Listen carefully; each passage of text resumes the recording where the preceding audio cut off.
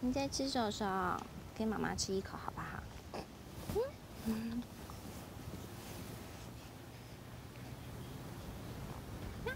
这里有一些很有用的资料，是社会局送的，送给你看看。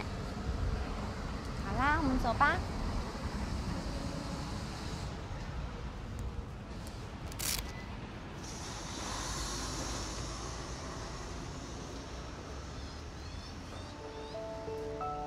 育儿指导员，请进。我在网页上面看到他们可以到家里来教我做副食品，希望。他们可以教会我怎么让小珠宝跟别的小孩一样好好吃饭。拿一下钥匙。我叫你拿一下钥匙，有那么难吗？等一下会死哦，拿去啊。那请问这是平常我们在替宝宝制作副食品的器具吗？差不多就这些。那妈妈都有在制作吗？嗯，有有。那我跟你讲一下，我们目前在吃副食品，主要只要妈妈放宽心，然后不要造成自己太大的压力就可以了。我感觉到他马上就听得懂我在说什么了，也看得出来我在担心什么。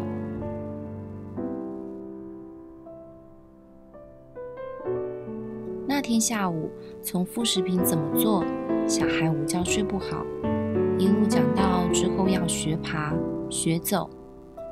我一直扶着的心，也就这么慢慢定下来了。原来这条路也没有我以为的那么孤单。